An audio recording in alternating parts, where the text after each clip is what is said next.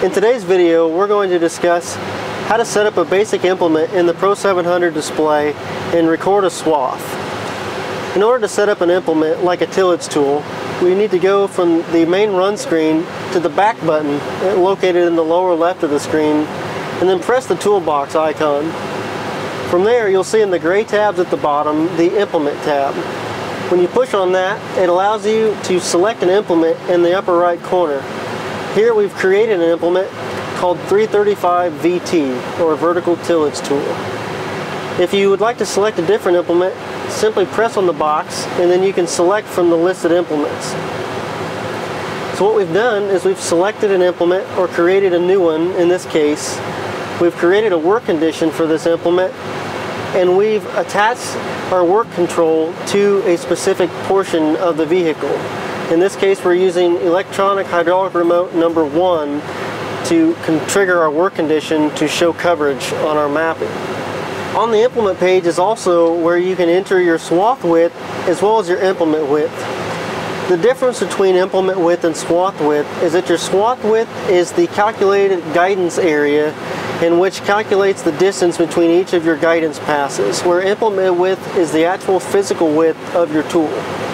So in this case, our vertical tillage tool that we've created is 35 feet, and our swath width is set at 34.5 feet, so we can allow for some overlap on both sides because we're operating on WAAS DGPS correction type.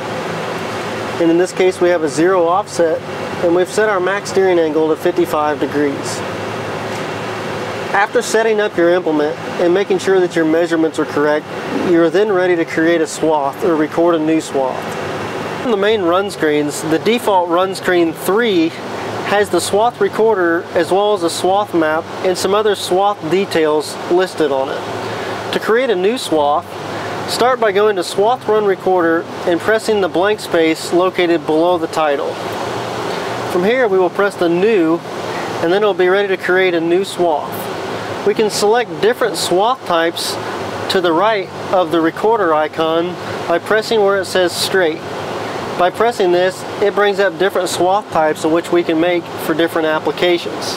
For this particular demonstration, we will be choosing the straight swath and creating a straight AB style guidance line. When you're ready, press the Mark A button on the screen to mark your A position and begin driving forward. It's important to travel approximately 90 to 100 feet prior to marking your B button to establish the line that you desire. At which point you have driven far enough, you can press the Mark B button and it will calculate your projected guidance line. Once you've established your guidance line, you're now ready to engage your AccuGuide system. Engagement options are either the Engage button located in the lower right of the Pro 700 some Magnum armrests are equipped with a button located down here that has a steering wheel with the auto title below it.